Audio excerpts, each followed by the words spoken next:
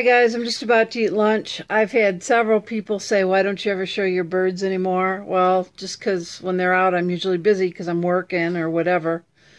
But anyway, so today, I haven't had a call in about five minutes. I call that a slowdown. So we've got Phoebe here.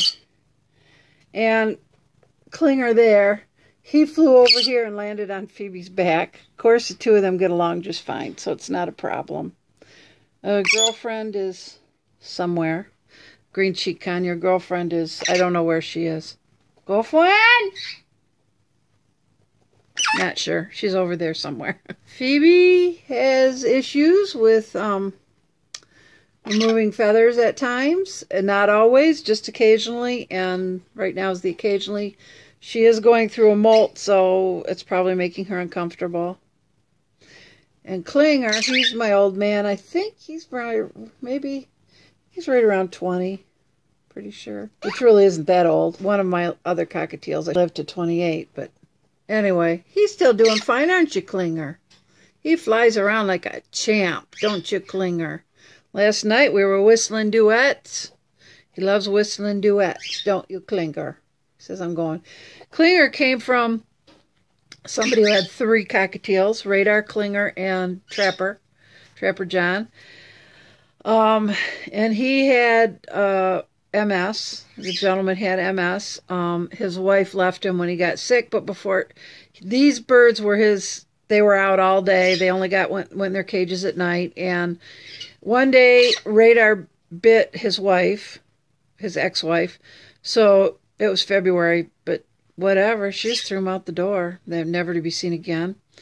Um, so he had Trapper and Klinger yet, and um, long time ago, maybe 2002, perhaps. He was one of our customers for the Bugman that I worked for, and he we were talking about the birds, and he had to go.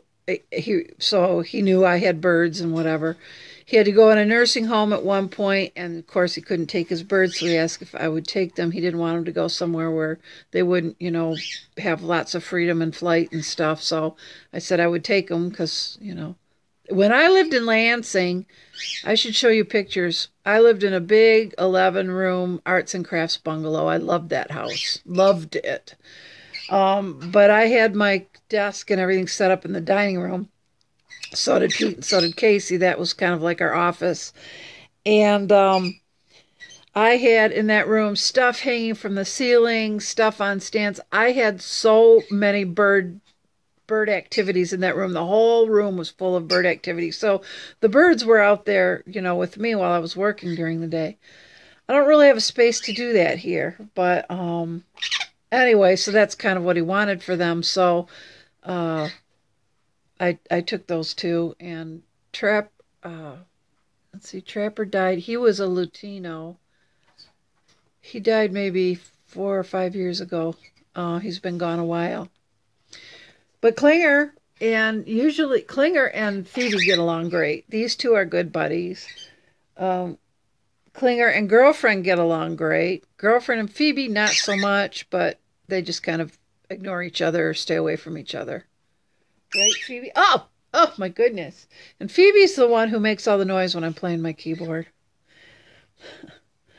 so anyway, I'm about to have my lunch, um, which is just leftover chicken and some uh, raw cauliflower dipped in ranch. Pete is at the prayer meeting.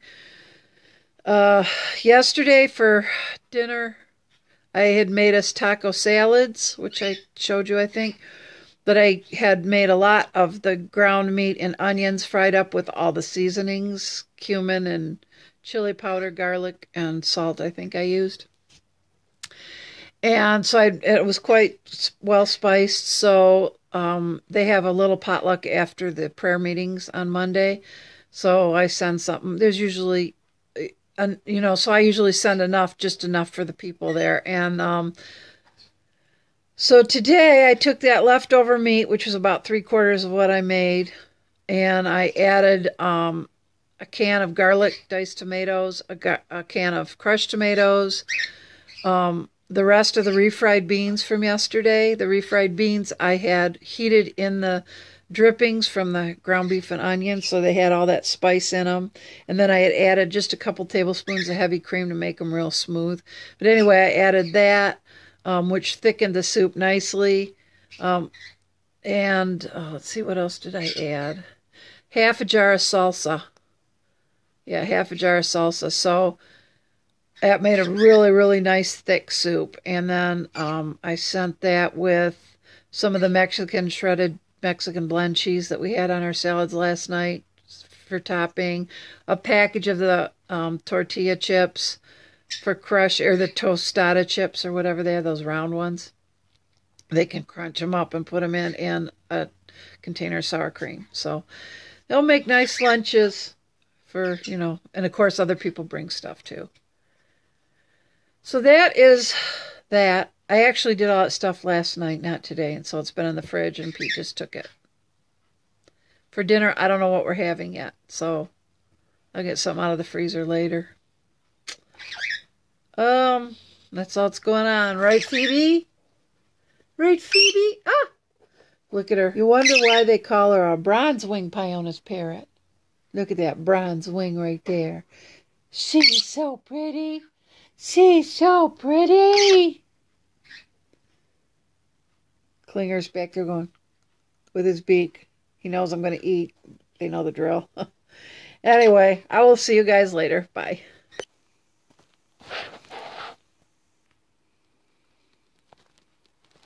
He does that because it's hollow. I guess he thinks he can hollow out and make a nest in there or something. He'd probably have plenty of room. how beautiful it is out there. Blue skies, fluffy clouds. Trees are finally, the buds are finally starting to open. This tree doesn't look that healthy. Is that right, love? Yeah. Is that right that this tree next to the driveway isn't that healthy? Yeah, it's not. It's not. I didn't think so. And a woodpecker building its house in it. Yeah. Oh, look at Chewy. I'm Chew. trying not to. Chewy, what are you doing, Chew? Go tell your mother she wants you. Go away, kid. You bother me. your mother have any children that lived? Come on. Chewy! Chewy! What about me? This is, but you don't let me out. Only Dad does. That's not true. He says when I get to be obnoxious, Dad puts his computer down and I go out. That's not true at all.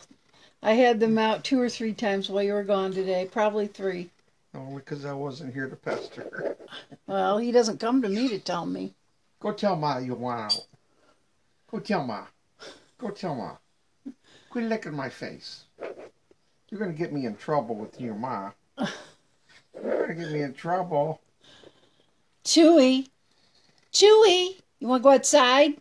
Whoa! You want to go outside? Yeah? Okay. Guess I better go, guys. Look at the two boys. It's a little after eight, I guess. There's the boys. They're so cute. Hi guys, it's a little after eight. Um, nothing going on. We ate dinner. I will probably get to bed early tonight because last night, uh, last time I looked at the clock this morning, it was like 4:18. So I've been kind of tired today. Um, my back is screwed up too, so I will probably just uh, take some pain pills, and then when my dinner settles and I get the birds done and stuff, I'll go to bed early. Get a good night's sleep. So, Casey is taking Lyra. She has an appointment with the dermatologist tomorrow down in Ann Arbor. Um, you know, Lyra's got some issues she needs to have checked, although, you know, she obviously needs to be seen. Um, you know, every so often anyway. I think right now it's twice a year, like every six months. And they do MRIs on her brain and stuff. For those of you who are new, Lyra is my precious grandbaby who has something called neurocutaneous melanocytosis, and it's spelled just like it sounds if you're interested in Googling it. But uh, yeah, she was born with it neurocutaneous melanocytosis. So tomorrow we'll see what what's what, and um, I can't go with her this time because obviously I'm working. But Casey usually is very good about keeping me updated about what's going on. You know, sending me texts and stuff. So that's it. That's it for my Monday, and uh, sun's still in my eyes. and um, I will see you guys tomorrow. I did watch vlogs today. Enjoyed them commented, liked, all the usual. And uh, I will see you guys tomorrow. So I hope you all have a terrific Tuesday. Take care. God bless and good night.